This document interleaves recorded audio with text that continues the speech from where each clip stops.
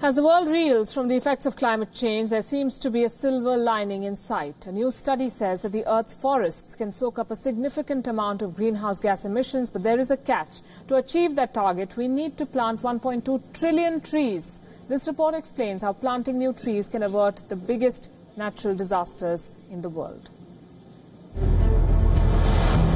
Hot days are getting hotter and more frequent temperatures hit new highs in Europe. Heat alerts were issued.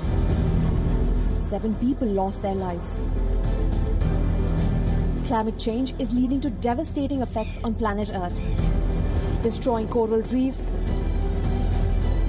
raising sea levels, risking displacing people across the globe. Keeping this scenario in mind, there is both good news and bad news. Let's start with the good news first. According to a new study, we can help halt climate change through a massive campaign of reforestation. Here is the bad news. It would require covering an area the size of the United States in trees. We are talking about 1.2 trillion new trees.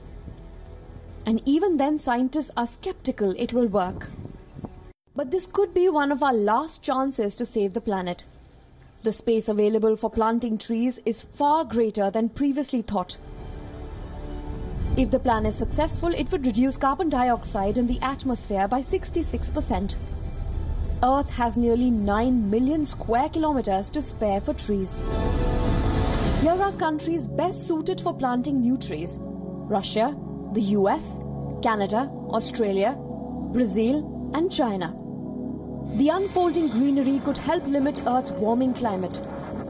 However, deforestation is still rampant and is accelerating in some parts of the world.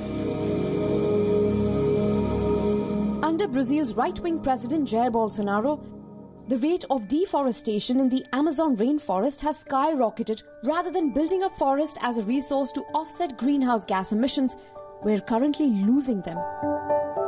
So, if you want to help save the world from climate change, grab some seeds and do your bit. Restoring forests may be one of our most powerful weapons to help planet Earth. Bureau Report, WION World is One.